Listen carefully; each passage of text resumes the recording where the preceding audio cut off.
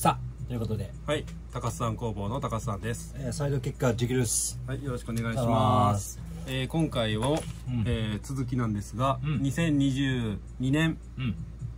にの上半期プラスアルファでうん。私高須さんがうん。個人的に初めて見たうん。映画うん。とあとまあドラマとアニメも含みますね今回、まあリミテッドシリーズというか、まあ、そのドラマシリーズとかうんも含めてうん。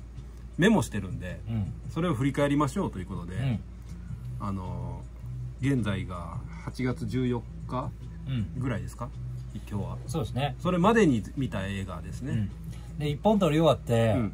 この2月7日まで行きましたね。プロスペクト、はい。これはあさっきのね。これ何なんですか？忘れてあの全然思い出いやしてなかった。まあもうねちょっと反則使ってちょっとね調べちゃったんですよ。うんあのペドロ・パスカル誰やったかなと。うん。もうこれペドロ・パスカルはすごい重要な人でした。僕にとって、うん。今度あの HBO っていうあの海外のうん。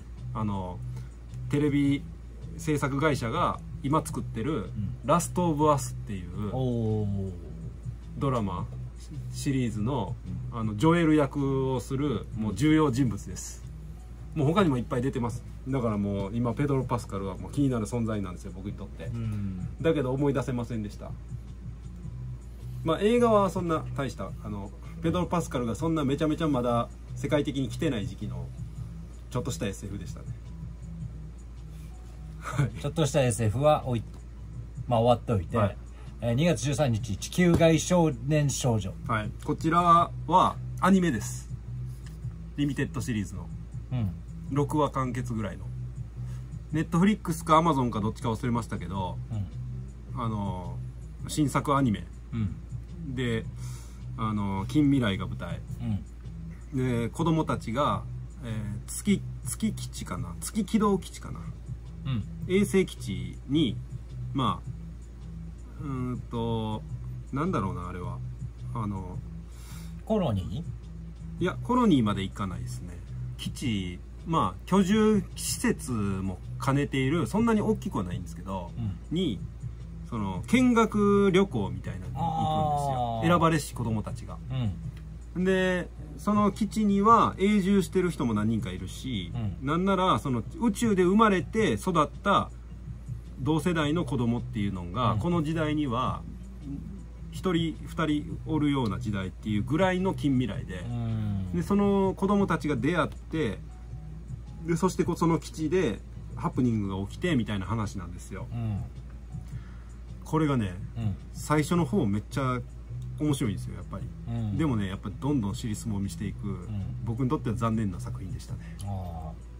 映像クオリティとかアクションとか、うん。アニメーションのクオリティ素晴らしいんですけど、やっぱりね最近のアニメに多いと僕が勝手に思っているあのねあのなんていうのかな世界系の斬死って言ったら適切じゃないかもしれないんですけど、えー話をやっぱり最後大きくしないとうん。うんあの満足してもらえないって勝手に思い込んでるんですよ。作る側が？制作作る側が。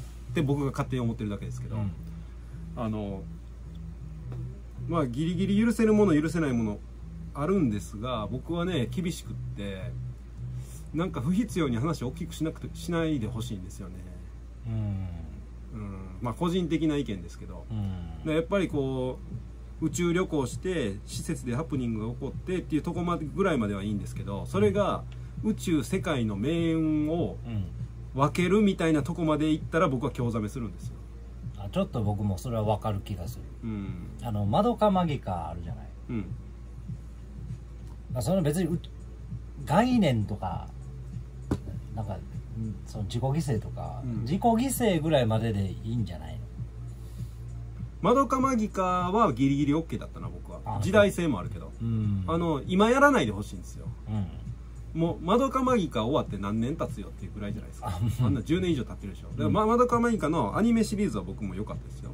映画はちょっとあんま好きじゃなかったですけど、ってうん言ったら誰か怒ると思うけどあの映画名作とされてるっぽいから、うん誰か怒るかもしれないですけど僕はアニメシリーズテレビシリーズはすごい良かったと思うんですよ、うん。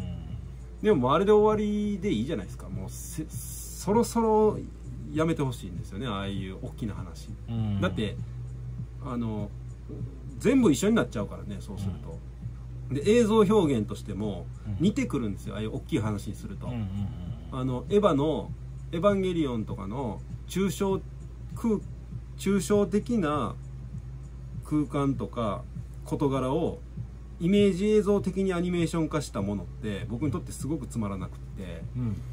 絵的にも、うん。なんか CG で色とりどりでうん。図形的なアニメって、なんか僕にとってはちょっと残念ですね、うん。うん。ここで一つちょっと問題なんやけど、はい。まあ僕らは見る作品数はどんどん増えて年も取っていくじゃないうん。だからまあ飽きてるっちゃといえばそれまでやと思うのよ。うん。でもまあ、まあ、そういうの初めて見る人もまあおるやんか。うん。僕やったら余計残念に思うと思うな。ああ。だって古いって思っちゃうからね、うん。うん、やっぱその今の感覚っていうものを提示してほしいし次の感覚っていうものを提示してほしいのでなんか流れで見てて思うのもそうやし今の時代の中に生きてて思うのもそうやけどやっぱり地に足のついたところを描いてほしいなって僕は思う、うん。うん。うん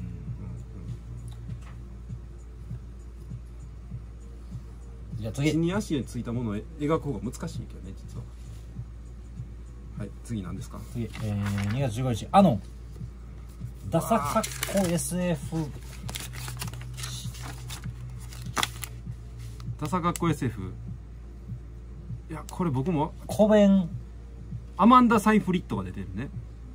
でな A・ ニコルズは誰やろな。アンドリュー・ニコルズ。あこれ多分監督名かな多分。アマンダああ思い出してきた。公園公園兄弟ってことかな。でもちょっと思思い出してきたんやけど。うん。たしあ違う違う違う。これ公園じゃないわ。クライブ・オーエンや。うんクライブ・オーエンとアマンダ・サイフリットの、うん。あのーダサかっこ SF です。ダサかっこなんですね。あのねかっこいいように作ろうとしてダサくなってる感じなんですよ。ま悪い意味でもあるしいい意味でもあるんですけうん。どあのあのマトリックスってさ分かりやすく言うと、うん。当時はめちゃめちゃかっこいいと思ってたわけですよ。うんうんうん。今見たらちょっとダサかっこいいって思う人もいるかもしれないじゃないですか。なるほどねうんそういうのを今やっちゃったって感じ。はいはいあ今見ても今の感覚で今の人が見てもちょっとダサかっこ悪い。だダサかっこいい。もしくはかっこいいダサいって感じかなっていううん。仕上がりなんですよ。ちょっとハードボイルドな感じを演出してるんですけど映画の雰囲気として。うんそれがねあのうまくいってないとすごくダサくなっちゃうっていうことがあってうん。そういう感じのテイストがまずありうん。で世界観としてはうーんとあのタグ付けがすごい進化していて世界中で。うん。タグ付けっていうかそのなんだろうあのあのあれです。うんと個人管個人情報管理ですね。うん。あの AR が進化してるからうん。コンタクトかなんかあのコンタクトなのかうーんとあのナノマシンなのか忘れたけど、う目にもう情報が表示されるんですよね人間は。うんでこうあのアクセス権限が高い警官とかはもう街行く人全員の個人情報を見れるんですよ。うん。でその捜査官がクライブ・オーエンがやってるんですよ、うん。もうクライブ・オーエンは渋いかっこいい僕も大好きな俳優さんですけど。うん。で SF で他であの「トゥモローワールド」っていうもう最高の SF 映画がある。僕も大好きなうん。出てるんでクライブ・オーエンで SF であの捜査官ものって言ったらもうもう絶対俺好きやんって思って、ん。ハードルめっちゃ上げてみるからうん。あのちょっとダサかっこいいっていう言葉が出てきちゃうんですがでそのタグ付けがその個人情報がもう全部見れる世界で個人情報が見れない謎の女がいるうん。とでそれを追っていくうちにうん。そのそのなんか結構重要な重大な事件に巻き込まれていくっていう話ですね、でもあの、はその女の人は何？そうその個人情報を統括するシステムの穴をついたりだからハッキングとかしてその自分の情報をちょろまかしてるっていうかうん。ごまかしてるっていうか、まあそういうのはあるあるじゃないですか多分。出るじゃないですかきっと、そういう設定でっていうまあいい設定だと思うんですよ、うん。ほんでまあ映像的にも、まあ、頑張ってるんですよ。だけどちょっとダサかっこいいです。ダサかっこいい。ダサでもかっこいい多分これねダサかっこって書いてるっていうことは、うん。僕がねうん。まだマシって思ってるんやと思う。あのかっこダサってか書いてたら、うん。あのダサいってことやそうそうそう。そういうこと まだマシなんやと思う。だからなんか SF 好きであの内容がない、なんかあのふわーっとなんか眠うとうたしながらお酒飲みながらうん。見る。酒飲むからうとうとするんじゃない？夜中に見る映画としてはうってつけぐらいの感じには慣れてると思う、うん。うん。あの個人的にはあのあれですね。ウイスキーのロックとかがいいと思いますね、寝るやんか。ってことで、うんえー2月17日ジャンクヘッド、はい。これね。これはね、うん。満を持して見れましたね、うん。あの映画館に行きたかったんですよ。この前の年2021年に。うん。だけどまあそこまでちょっと情熱が燃え燃えたぎらなかったんで行けなかったんですよ、うん。ほんでアマゾンに満を持して無料で見れるようになってですね。見たんですけど、まあ、すごい映画ですよこれは。一人で作ってる。ストップモーションアニメ。全編ストップモーションアニメの長編7年かけて、うん。7年だとかだったと思うんですけどうん。一人の人がストップえストップモーションっていうのは、まあ、人形をコマ撮りして、うん。ちょっとずつちょっとずつコマ撮りしてアニメーションにするっていう。であのもうその人形とか舞台あの特撮っぽいものがうん。すごいんですよ、もうあの規模が。もうでっかい工場の中で作ってるんですよその人が。うん。一人で。うんほんで編集も声も全部やって自分で。ほんでその超遠未来ですこれは、うん。SF で超遠未来。で分かりやすく言うとあの二瓶勉さんの「ブラム」にすごい影響を受けてるんでうん。だから僕も好きなテイスト。え日本人？日本人日本人。あで話題になって。ーななんていう人？名前は知らない。忘れた、うん、一作目です、うん。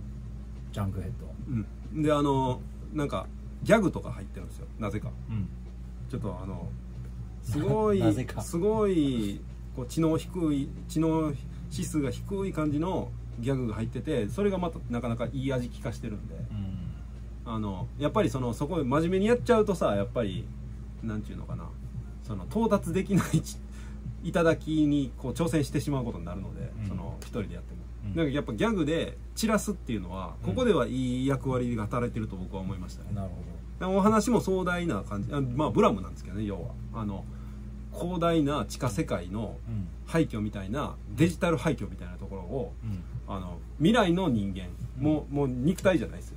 うん。もう機械化された人間がさまようっていう話でああそこでは機械は機械じゃなくそもうそれがもう人間人間ですね。でなんかその地下世界がもう人間の管理の外にあるんでアウト・オブ・ベースにあるんでで そこをさまよって何かを求めるんですよ。何やったか忘れたけど重要なものを、うん。まああのブラムでいうところの、ね、ブラムでいうところのネット端末遺伝子を探すのと似たような、うん。まあもうもろに影響を受けてるでいろんな舞台にも本当にいろんな舞台に展開していくんですよね。うん。こんなんよう作ったな。うん。ほんであのね思い出してきたんやけどなんかブラムとかにもよくあるんやけどこの大きな施設の壁面からあのなんかたお立ち台というかその人間が着陸するためのあの地面がせり出したりするんですよね、うん。ガーって、うん。こう機械の。うんそのせり出す時にガーってせり出してガチャンってなる時のこのあのあシリンダーのスポークみたいなのが凝ってるんですよ。これやばいですね。これおすすめです。ちょっと面白そう、うん面白いです。それ面白そう。うん。で今人雇って続編作ってるみたいな。あ。人雇ってるから、うん。もっとすごいもんできると思う。あの7年後ぐらいに。7年後ぐらいにその頃ようやくあの「ファイナルファンタジー7」リメイクが完結する。ああいや完結しないかもね、せえへんか。うん、あれってだって相当全最初の方で終わってるんやろあれ、どんくらいなんとか村脱出までなんやそうミッドガルなあミ村ッドガル。ミッドガル、うん。ミッドガル。脱出まで。全部のどんぐらいなんですかあれ。序章。ぜ5分の1とか。こうやって仲間が出会ってこういう目的でな冒険に出るよっていう。7年無理やでじゃ PS PS8 ぐらいになってんじゃんあありえるな ありえるな。XBOX1080 ぐらいになってるじゃん、うん。360じゃなくても。3回転してるじゃん、あなるほどなるほど。えー、にうん 2, 月21日はい。博士と狂人、うん。これなんて読むんですかそもそも？博士と狂人でいい。博士と狂人でいいです、うん。でショーン・ペンとメル・ギブソン。うん。で辞書作り。辞書を世界で初めて世界かな？わからん。イギリスかな？うん。イギリス初かな？英語の英語辞典を初めて作った人の話えー、えー、え英語の百科事典のこと？百科事典。あ。あの辞典ものってよくあるじゃないですか。日本で有名な船を編むとかいろいろあるんですよ。映画でも。多分。でショーン・ペンとメル・ギブソンが共演っていうどんなどんなヤクザもんやのろうなと思ったら 2人とも博士なんですよね、うん、しかもショーン・ペンは適度にマッドなんですけど、うん。メル・ギブソンが、うん。あのすごい紳士なんですよ、うん。でもすごい紳士の役やのにやっぱりあの顔やから、うん。ちょっとあの最後までほんまにこの人紳士なんかなと思ったら最後まで紳士でした。あ内容とは関係ないあれですけど。メル・ギブソンやったっけな？誰やったかあのなんかね肥後の歴史みたいな。肥後ってなあの4文字言葉ですよ。ああ熟語みたいな。うん。あの英語のね。うん、うんががファックとかサックとかそういう。それ単語や、ショットとか。うん、4文字言葉って言うんですよ。あちょっと悪い意味の言葉が集まってるんですよ4文字で。はいはい。それの歴史についてああメル・ギブソンやったかな。メル・ギブソンってあのリーサル・ウェポンの人ですよ。あのマッドマックスの人ですよ。よ忘れた。ちょっとまたこれは後で語ろう。はいはい。次23日。ラプチャー破裂。ラプチャー破裂。ラプチャー破裂。これはですね N ラパもスノーミ・ラパス。うん。これは僕の間違いなく僕の2020年の20 2022年の、うん。まあ、ベス2022年1年間の中の、まあ、ベスト5には入るかもな。あああもうこれでも昔の映画ですけどね。今のところ暫定2位ぐらいなの？いやまあ4位か5位やな。うん。多分、これめっちゃ良かったですね。やばいですねこれはでノーミラパスがまず僕大好きなんですよ、うん。もうノーミラパスが出てる映画は全部おもろいっていう。あそうなの？ぐらいの今輝いてる僕の中で輝いてる女優さんの一人です、ね今2人いるんですよ輝いてる女優さんが。うん。一、人はサントラブロックです。うん。もう一人がノーミラパスです。えサントラブルサンドラブロック？うんうん。えめっちゃ古い人じゃない？今輝いてるんですよあの人あここへ来てっていう感じ？そうです。再ブレイクみたいな感じ？再ブレイクというかそうですね。再再ブレイク再ブレイクというか今が一番来てると思いますまあでそんなノーミラパスなんですけどあのまあ普通の主婦なんです。主婦というかまあお母さん、うん。なんかな普通の人なんですけどいきなりいきなりあの拉致監禁されるっていう話なんですけど。でもまあそんななんかなんちゅうの？あまだえぐい話ですよ。えぐい話なんやけどなんで拉致監禁されるかっていうのに目的があってでもそれが分かんなくてでもなんか目的ありそうやなっていうのは最初から分かっててでもなんかわけわからん拷問されるんですよ。うん。あの普通の拷問じゃないんですよ、うん。わけわからん拷問されるんですよ。うん。うんなんかこれない目的あるんやろうけど分かんない。んですよっていう映画です。でなんかこうあどついたりとかじゃなくてじゃないですね。わけわからん拷問をされる。うん。なんかねその何人かはしかもあの監禁されてるんですよね。他の他の部屋にも。ほんでなんかダクト越しにちょっと喋ったりできるんですよ。人がおらへん時に。でなんか探ってるんやけどそれぞれ聞いてるとそれぞれの人が自分がすごい嫌って思ってることをされるんですよ。うんうん。例えばあのミミズが嫌いな人はなんかこれミミズの人いないですよ。で例えばですよ。ミミズがほんまに嫌いやっていう人がいるとするじゃないですか、ほんじゃすごいあのアクリルで作ったすごいこう自分の首にサイズがフィットする壺みたいなのに顔だけ入れられてポトポトあの あの、ね、あのミミズを落とされるっていう拷問とか。それは 俺やわ。ミミズ嫌いなの？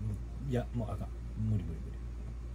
とかあと例えばなんかなんやろなんですかねあのパクチーの匂いが嫌いな人はもう鼻にチューブを突っ込まれてパクチーをすごいあの抽出した匂いを、あの 送られるとかそういうやだみ的な拷問をされるんですよ、やだみっていう。ねうん。うんやだみ感あふれるあの拷問をされる。んですでもめっちゃきついんですよ見てても。やめてあげてってなるんですよしかもなんか赤黒いなんかじめっとしたタイルの部屋でされるんですよそれは。うんでもその扉がもうね扉がもう2 5センチぐらいの厚みがある、ん。ガッチャンってこう閉まる、えげつない扉やからもう絶対出れへん。うんまあでもあの意外とダクトからあのちょっとだけ脱走したりできるんですけど。ノノーミノーミラパスは。んでそういうところで拉致監禁されてあのっていう話です。で最後に何が起こるのかっていうのがまたねもうもう最後すごいですよ。もう半端ないですこの映画は。超かっこいい映画ですね。あの全部全体を見ると。ちょっと僕マル大好き、このジャンクヘッドとうんでもラプチャーの方がもう相当ですね。これ多分ねカルト映画だと思いますねあるあるジャンルにおいてすごい有名になってると思う。結構前の映画ですよちょっとグロいなあそれ。耐えられるかなおじさん。に2月27日。はい「The Power of the Dog うん」もういい？いや。あ思い出した。ベネディクト・カンバーバッチやねこれ。ああ BC バッチっていうの炭素症。ちょっとねあ思い出した。これもね今年のね、うん。ベスト5入るねこれは何？盲導犬みたいなそういう犬なの？いやこれドッグはあんま関係ないです。じゃあいいや。これはもう西部開拓時代のアメリカの話です。うん。だからここが意外なんですよ、うん。ベネディクト・カンバーバッチっていうのはもうがっつりしたもうイギリス人俳優。イギリス感あふれるイギリス俳優じゃないですか。英国人っぽさ。英国かどうかは分かんないけどヨーロッパ俳優ですよ。ガチガチの。うん。それが西部開拓時代のアメリカ人できんのかいってちょっと思うわけじゃないですか。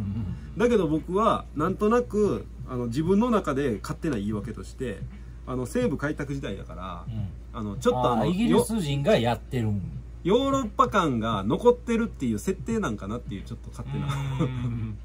あのあれで。開拓してんのアメリカ人じゃないもんねアメリカ人はまだいないからねその時代は。言うて。ヨーロッパ人がおるもんね。ヨーロッパ人がアメリカ人になっていったわけやからヨーロッパを脱出した人たちにななり追い出された人たちなりがね。なるほどなるほど。でも時代的にどうだったかはちょっと分かんないですけど、うん。もう結構アメリカ感がアメリカっぽさはだから出してきてましたよ、うん。ベネディクト・カンバーバッチは。あのアメリカのそのワイルドな世界狂気とわ狂気と荒野みたいなところで開拓時代だからあのもうそやに振る舞ってましたけど、うん。うんそういう時代そういう映画なんですが結構文芸的なあのそのテイストも漂わせててあの素晴らしかったですね。うん。であるいであんまもうネタバレしたくないから言いたくないんだけど何々映画実は何々映画だったっていうところもあったりして、うん。まあそういうところもあってでこれ確かねなんか賞にもノミネートされましされてましたね確か。アカデミー賞かなんか。あすごい面白そうやそう。あのだから西部開拓時代の象徴的な人物象徴的なアメリカをこれからのその時代のアメリカを象徴するようなそやな人間としてベネディクト・カンバーバッチがいてでその弟がちちょっとビジネスマンライクなところがちょっとある弟で、うんその弟が未亡人をと結婚するんですよ。うん。でその未亡人には息子がいて、うで青年ななんですけどひょろっとしてるから、うん。いじめるんですよベネディクト・カンバーバッチが、ああ、うん。だけどっていうようなそんな感じの話ですだけどまあそんなもんで、ね。そんなもんで、はい、これ素晴らしくめっちゃ良かったですね。映像よし。確か音楽もすごい良かったと思う。でまあプレイ演技も良かったし内容も良かったし。これは最高です、うん、3月1日。うん、ジャック・リーチャー、うん。正義のアウトロー。砲台あざと奥さんチュンリ砲台があざといっていう意味なのよなこれ。ー、はい、正義のアウトローっていうのが奥さんチュンリ奥さん役の奥さんっていうかどっかであなんかなんか脇役の人のうん。奥さんが、あの昔のストリートファイターの、うん。うんえ初めて映画化したストリートファイターのチュンリー役やった人。ー、うん、っていう。アニメしか見てないんやけどそアニメ映画やったら見たけど、うん愛しさと。アメリカで昔あのああのガイルが主人公。あだからあのあれやん。ガイルがあの人じゃない。あの J なんジャンクロード・バンダム。ジャンキ JKB かな。じじゃあ かな。ジョンクロードバンダム。それのチュンリー役かな。多分。多分。まあそうなんやろうな、うん。であの日本まあそれはでもそれやったらやってるもん。やってるのは知ってるけど。それも多分でもねあんまりどうでもいい情報なんですけど、ああじゃあどうでもいいや、でも僕はそれを思い覚えときたかったっていう感じでどういうことかというとこれドラマシリーズです。うん。であのあのジャック・リーチャーっていううん。有名で人気な小説があるんですよ。シリーズがあるんですよ。いっぱい出てるんですよ。ジャック・リーチャーさんが主人公の小説シリーズがある。そう。でそれをもとに映画化したのがトム・クルーズ主演の「アウトロー」っていう映画映画と、うん。その続編である「ジャック・リーチャーネバー・ゴーバック」っていう映画があネバーゴーバーでジャック・リーチャーはもともと人気な小説ででそれをトム・クルーズが映画化するときに、まあ、トム・クルーズ映画でよくあることやねんけどトム・クルーズはあの役のには合ってないってよく言われるんですよ。うん。まああのミッション・インポッシブルも最初そうやったらしいんですけど、うん。ジャック・リーチャーのもともとの設定が、うん。もう身長が2メーターぐらいあって、うめちゃめちゃ凶暴な見見た目でみたいな、でもトム・クルーズちっちゃいじゃないですか、でそれすごいそのちょっとちゃうやないかって世間が言ったんやけど作者が「いやトムが映画化してくれるんやったら俺はやってほしい」って言ってで実際やったら、あのめっちゃ良かったです、うん。アウトロー1作目特に。うん。1作目めっちゃ良かったですね。アウトロー。もう何回も見てます僕。あの70年代風アクションって感じのあのすごい質実剛健なゆったりとしたペースでも見れるしあのそれこそね居眠りしながら何回も見て楽しい映画って感じ。で何回も見れるスルメ映画なんですよね。うん。でその1作目が成功しすぎてその1作目の監督があのいやあの、まあ、トム・クルーズが選んでるから大体。多分そういうのって、うん。トム・クルーズ主体になってるからさ。うん。あの1作目の監督めっちゃええからうん。もうアウトローの2作目はうん。別の人に頼むからうんミッションインポッシブルの方の監督やってくれ。って言って。アウトローの監督がミッションインポッシブルの監督しちゃったんですよ、うん。そのそのある時期というか前作かなんかで、うんその結果とアウトローの2作目の「ジャック・リーチャー・ネバー・ゴーバック」の方がエドワード・ズイックっていう監督の監督作になったんですよ、うん。その結果あのまあまあの映画になってしまいました。うんうん。悪かないんや。悪かないけど何回も何回も見る映画ではなくなってしまったのが残念、うん。まあ悪かないです、うん。ちなみちなみにエドワード・ズイックっていう監督は、僕が大好きなブラッドピちっちゃい時から大好きなブラッド・ピットのうん。えーとね「レジェンド・オブ・フォール」っていう映画があって、うん。大好きなんですけど、うん。その監督ではある。うん。悪い監督ではない。ただラストサムライの監督でもある。あそうなんやだ職人監督って感じですまあちょっと豆知識多くなっちゃいましたけどまあそんな感じでしょうね。あそれのそれを原作に忠実な感じでえあドラマ化し直したシリーズですね。あなるほどね。だからまあまあ面白かったですね。だから主人公はめちゃくちゃでかかったですよ。でかくてマッチョでした。うんあ結構そう忠実に。忠実にだからまあじゃあ原作崩壊はせえへん。あだから、はい。トム・クルーズの方を置いといて、ドラドラマ化しようぜっていうこれアマゾンかなんかやと思うね。3月2日「ピーター・ラビット。はい。これねあのピーター・ラビットを実写化したウルトラ CG 映画でした。でちゃんと人間は人間がやってるし実写やねんけどもう実写のほぼなんか何割かは絶対 CG が入ってるみたいな」うん。でも面白かったんですよこれが。舐めてはいけないって感じ。ああなめてはいけない、うん、舐めちゃいけない。そしてあのピーター・ラビットと絡むうん。その男性の主人公の人間がうん。あのハリー・ポッターとかに出てる、うん。すごく不思議ないい感じの見た目のうん。人です。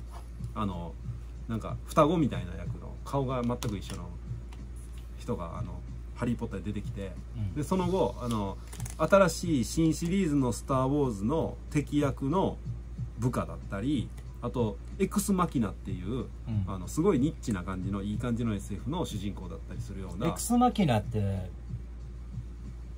あれどっかで紹介してたっけ？あどうだろう？分かんない。してないと思うな、うん、まあ以上。じゃあ30分経ったので。あじゃあこの辺にしておきましょう、はい、じゃあ続きます。続くよ。あちょっと切れちゃった。